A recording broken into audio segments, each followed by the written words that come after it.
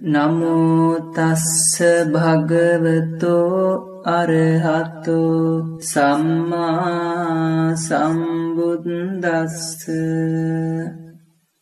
ඒ භාග්‍යවත්තු අරහත්තු කුමන හෝ දෙයකට ඇලී සිටින සත්‍යයන්ට සියලුම ඇලීමෙන් මිදීමේ වටිනාකම කියලා දීපු බුදු පියාණන් වහන්සේට নমස්කාර කරමු. নমස්කාර වේවා.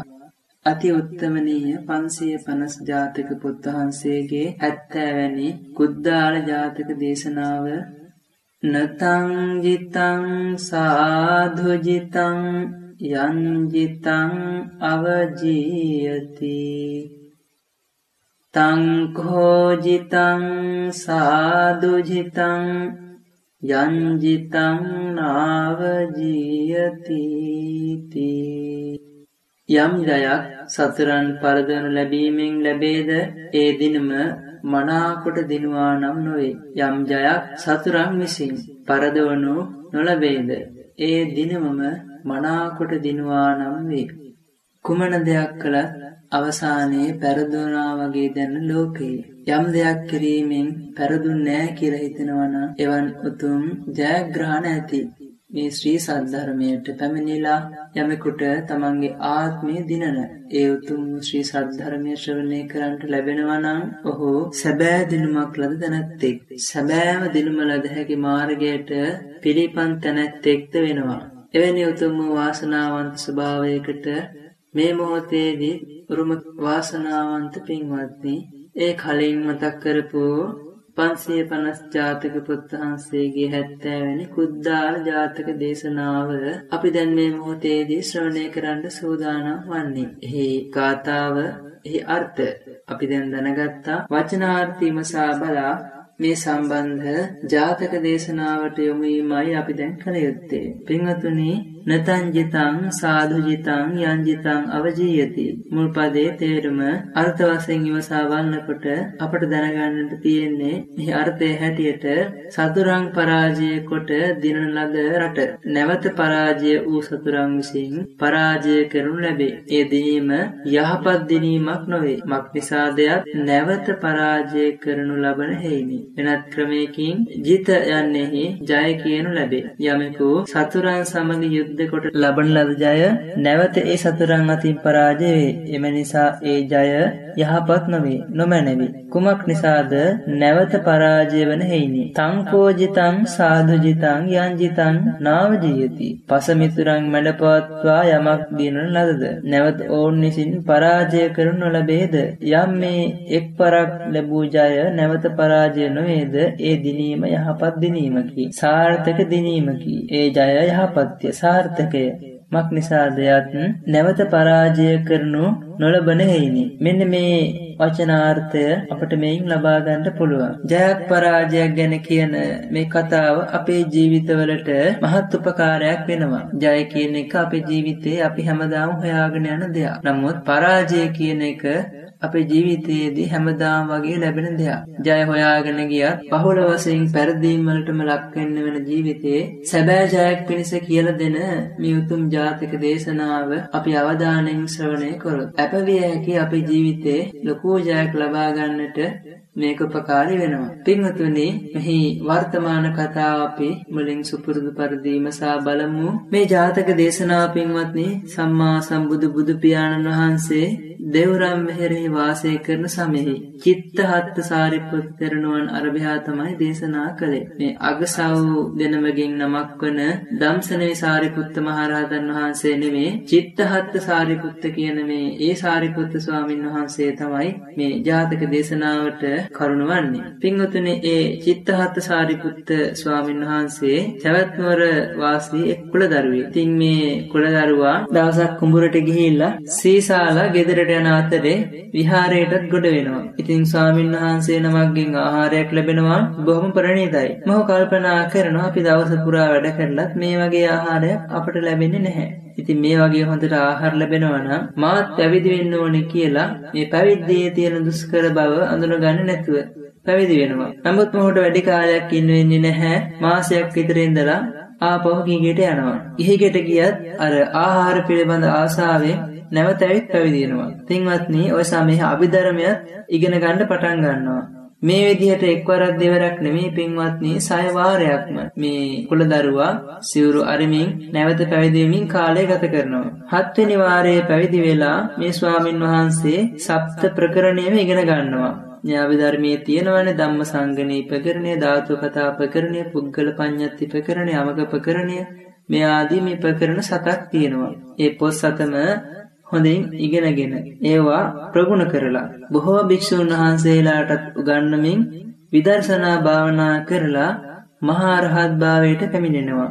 පින්වත්නි ඒ කාලේ මේ ස්වාමීන් වහන්සේගේ ස්වභාවය අවබෝධ කරගන්න යාළු භික්ෂූන් වහන්සේලා තේරුම් ගන්නවා මේ භික්ෂුන් වහන්සේ නැවත ගිහි බවට පත්වීමට සුදුසු නෑ කියලා. මේ සම්බන්ධව කතාව මේ දහම් සභාවෙහි කතාවෙමින් පවතින අවස්ථාවක මේ ස්වාමින් වහන්සේ ඉතින් බුදු පියාණන් වහන්සේගේ ශාසනයෙහි මෙහෙම සයවරක්ම සිවුරු අතහැරලා ගියා. ඉතින් බලන්න මේ ලාමක සිතක පුහුදුන් සිතක දෝෂය මේ පෘථග්ජන සිත කියන එක බොහොම විනාශ වෙන දෙයක් මේ සිත බොහොම චපලයි කියලා මේ සිතේ ආදීනව ගැන කතා කරමින් ඉන්න මොහොතේ බුදු පියාණන් වහන්සේ ඒ සිද්ධිය දැනගෙන බුදු පියාණන් වහන්සේ මිවික්ෂුන් වහන්සේලාට මතක් කරනවා මහණෙනි ස්වාමීනි මේ පොහොදුන් සිත කියන එක ඉක්මනට වෙනස් වෙනවා. පාලනය කරගන්න අපහසුයි. අරමුණු වශයෙන් ඉක්මනට මේ ඇලෙන ස්වභාවයෙන් යුක්තයි. එක්වරක් ඇලුණු දෙය අත්හැරීමට අපහසුයි. මේ බඳු සිත দমনය කර ගැනීම බොහොම යහපත්. ඒ দমনය කරගත් සිත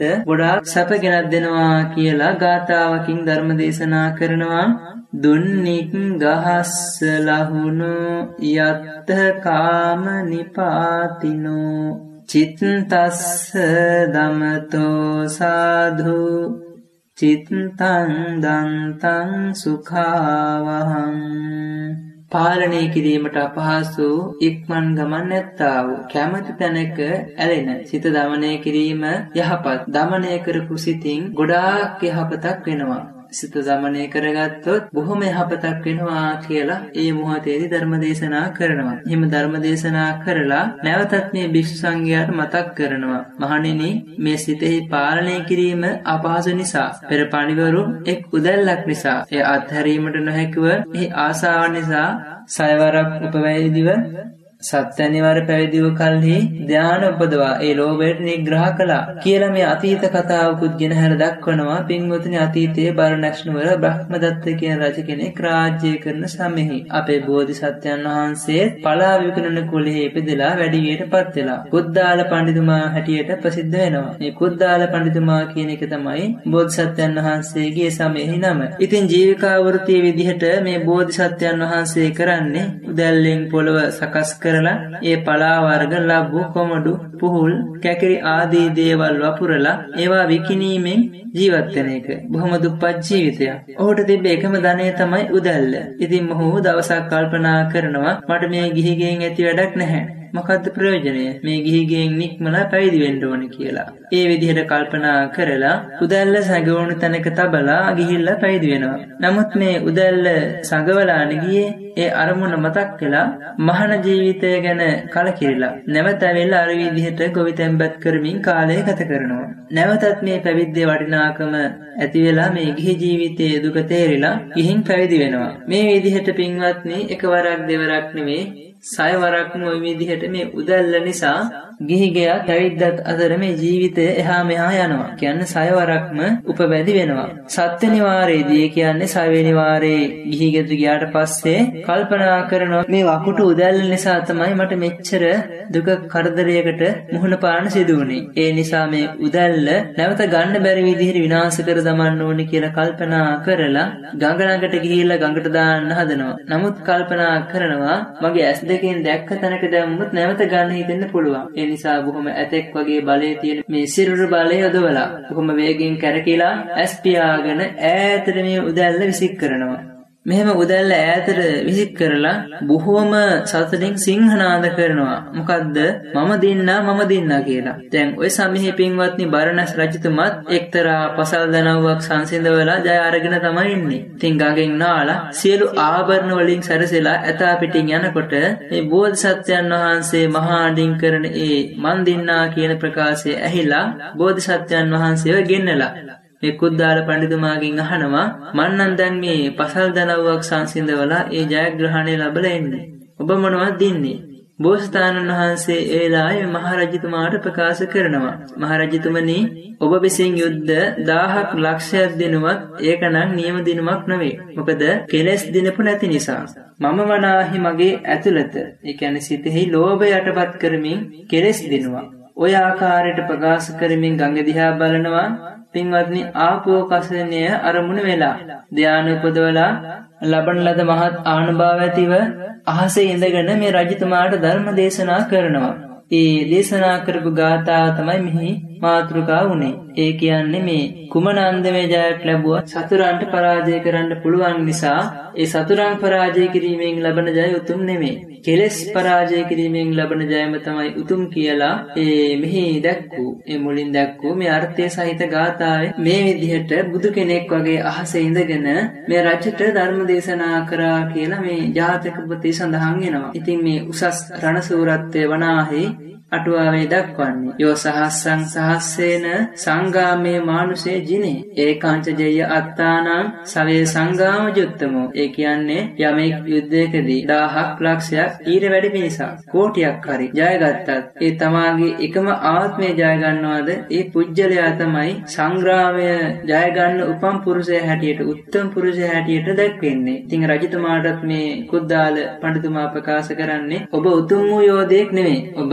දක්ෂ ලෙස යුද්ධ ජයගන්න කෙනෙක් නෙමේ. සැබෑ ජය ගැනීම නම් මෙන්න මේකයි කියලා අහසේ ඉඳගෙන ධර්ම දේශනා කරනවා. ඒ ධර්ම දේශනාව අහන වෙලාවේ මේ රජතුමාගෙත් ඒ වගේම සේනාවගේත් කෙලෙස් තදංග වශයෙන් යටපත් වෙනවා. ඉතින් එහෙම ප්‍රකාශ කරාට පස්සේ මේ රජතුමා අහනවා මේ බෝධිසත්වයන් වහන්සේගේ දැන් ඔබතුමා කොහෙටද යන්නේ? රජතුමනි මම හිමවතට ගිහිල්ලා තපස් පැවිද්දෙන් පැවිදි වෙලා ඒ විදිහට මං කාලය ගත කරනවා කියලා බෝධිසත්වයන් වහන්සේ ප්‍රකාශ කරාම රජතුමා මාලිගාවට යන්නේ නැහැ. බෝධිසත්වයන් වහන්සේ සමගම නික්මෙනවා. ඒ බලසේනගත් ඒ වගේම බමුණු ගැහැවියොත් ඒ වෙනත් ඒ සිටුවරු ආදී සියලු දෙනාම එතෙන්ට එක්කෝ සියලම ජන සමූහයා රජතුමා සමග නික්මෙනවා. ඉතින් පින්වත්නේ බරණස් වැසියොත් අපගේ රජතුමා කුද්දාල පඬිතුමාගෙන් දහම් මහලා පැවිද්දට නැඹුරු වෙලා බලසෙනක සමග නික්මුණා. ඉතින් අපි මෙහි මොනවා කරන්නද කියලා ඒ පිරිසත් යනවා. පින්වත්නී දැන් පිරිස දොළොස් යොදුනක්. යොදුනක් කියන්නේ හැතැම්ම දාසයක්නේ. ඉතින් මේ පිරිස එකතුනහම දොළොස් යොදුනක ප්‍රදේශයක් වැහෙනවා. ඒ තරම් මේ විශාල පිරිසක්. දැන් මේ සියල්ම පිරිස හිමාල වනාන්තරයට යනවා.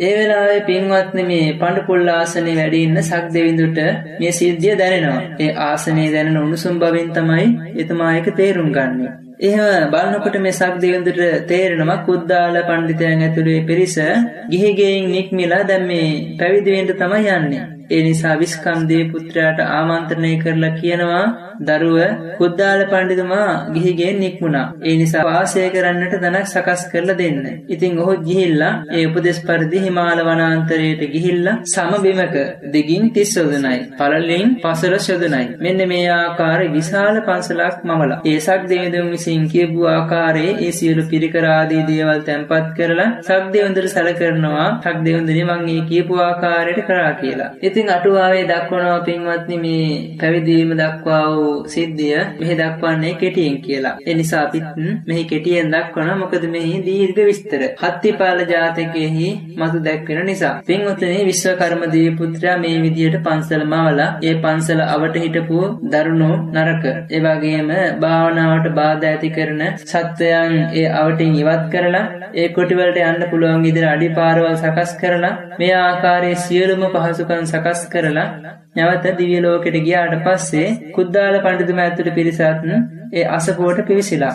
තමන් පළමුව පැවිදි වෙනවා ඊට පසු අනිත් පිරිසත් පැවිදි කරවනවා එහෙම පැවිදි කරලා මේ අසපුව ඒ ඒ අයට ඒ ඒ කොටස් බෙදලා දෙනවා. පින්වතුනි මේ සිද්ධිය මෙතනින් නවතින්නේ නැහැ.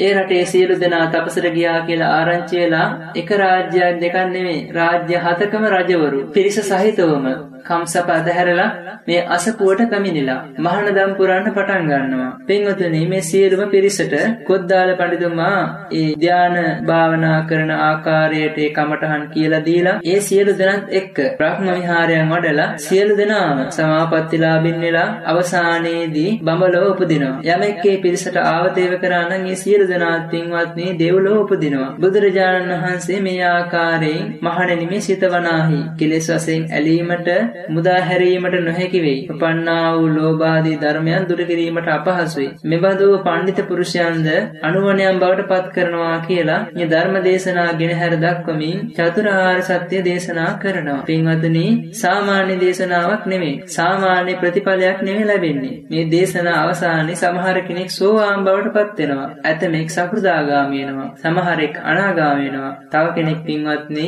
අති උත්තම මහා රහත් භාවයට පත් වෙනවා. සාදු කියලා ඒ උතුම් සිද්ධිය අනුස්මරණය කරමින් සිහිපත් කරගනිමින් මේ බුදු පියාණන් වහන්සේ විසින් ඒ දේශනා කරන පූර්වාපර සංදී ගැලවීම දෙසත් අපේ අවධානය යොමු කරන්න ඕනේ. පින්වතුනි එකල ඒ රජතුමා නම් මෙසා මෙහි ආනන්ද තෙරුන් වහන්සේ. එසා මෙහි ඒ පිරිස නම් මෙසා මෙහි මේ බුදු පිරිස. කුද්දාල පඬිතුමා වෙලා ඒ පිරිසට කමටහන් දුන්නේ ඒ පිරිසට උපකාර කරේ. දැන් මේ බුදු බවට පත් සිටින මම්ම වේදයි කියලා බුදු පියාණන් වහන්සේ මේ ජාතක දේශනාව නිමකොට වදාරනවා. මේ බුද්ධ ශාසනයේ මහා සමාගම් දැක්වෙනවා. ඒ සමාගම් වලින් එකක් තමයි මේ කුද්දාල සමාගමේ කියලා කියන්නේ. ඉතින් පින්වතුනි, එවන් වූ උතුම් වූ ජාතක දේශනාවත් තුළින් අපට බොහෝ දෙයක් හිතර ලබා ගන්න පුළුවන්.